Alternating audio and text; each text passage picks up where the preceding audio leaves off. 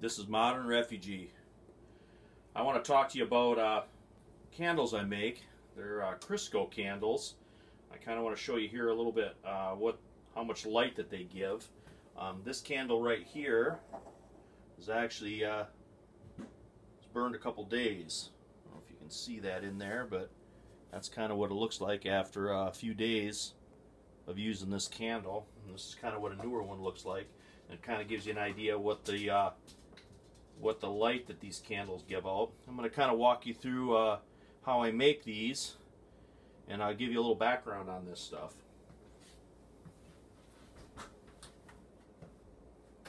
Turn a little light on so we can uh, see here. But uh, as you can see, Crisco, see the little candle in the eye right there, Crisco was kind of uh, made to make candles. That's why that candle's in the eye like that. It's a soybean oil, a lot of expensive candles. That's kind of the ingredient in the wax that they use is a soybean oil, and that's what Crisco is made out of. And I like jars to put them in because they kind of I don't like uh, making them inside the containers. I like them in the jars because they give off a light. Plus, you know, I don't have to worry about a fire or anything like that if this paper carton catches on fire. I save jars like uh, salsa jars and spaghetti sauce jars. And spaghetti sauce jars actually make really decent candles. I always save the lids on them, and then the uh, lids can go back in uh, on them after I um, uh, make my candle. So, what do I use for wick? There's a couple different wick options you can use. This is actually a wick kit that I got off Amazon a while ago. Been using this for quite some time now. And what that is, is that's just your pre-done up wick, kind of like this. And it comes with these little discs. And these discs, you thread the wick right into these discs. show you here. And then that gives you a base to use your uh, use as a candle. Uh oh, puppy time. That there, that's Refugee Rover. And then there's also homemade wicks. This is a homemade wick that I just make with uh, cotton twine from Walmart, and I tie a uh, washer on the end of it. Now to secure these wicks into the jars, I just use a dab of uh, just silicone caulking. I've been using this uh, tube for a couple years already. But anyway, you just put a little dab on the bottom of it, and you secure that down on the bottom of the jar, just like that.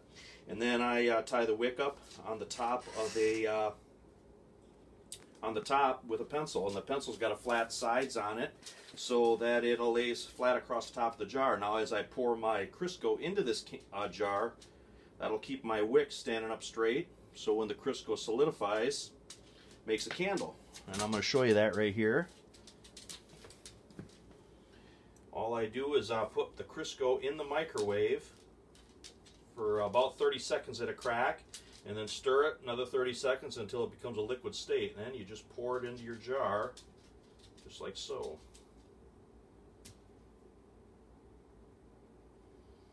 And when you're almost up to the top, it's full. Now, this will take probably about a day, and this will harden up, and that'll turn into something like this. And I always save the uh, lids for my jars so then I'll trim that wick back and I'll take the lid and put it on there and then this can be put up for storage. So I've got candles when the power goes out or if I just want to burn a candle in the house um, for a little heat or whatever. Um, that's uh, how I make my Crisco candles. And they're, uh, as far as I've had people ask me if they smoke, if they smell, they do have a slight smell that almost reminds me of what an old kerosene uh, lamp used to be when I was a kid. It's got just a real light smell to it, but nothing that I would call uh, unpleasant or anything. And the only thing that you got to do with these candles is every so often, you'll when uh, you get a little carbon buildup on them, you got to take a scissors and trim the wick back, and that's kind of what those little black balls are down in the bottom is where I trim the wick.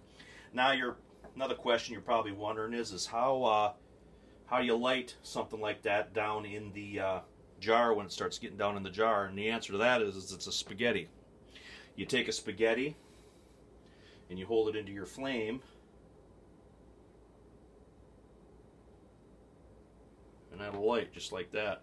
So then you can just take that and put that right down in to light your candle. And you can get several lightings off of uh, one spaghetti. So I just keep those beside my candles so I can um, light them. I hope uh, somebody gets some uh, ideas from my Crisco candles here. I uh, always keep a few of these around just in case the power goes out or whatever. But uh, that way you can uh, have an item like the Crisco, the all vegetable shortening. You can use it for two different things. You can use it for its for actual shortening, or you can use it to make candles. So it's kind of a multi-purpose item to have around. I uh, hope you enjoy this information. This is Modern Refugee. This is a quick follow-up on last night's uh, candle making video. It's been 24 hours since I made this candle, and as you can see, with the trimmed wick, made a decent looking candle.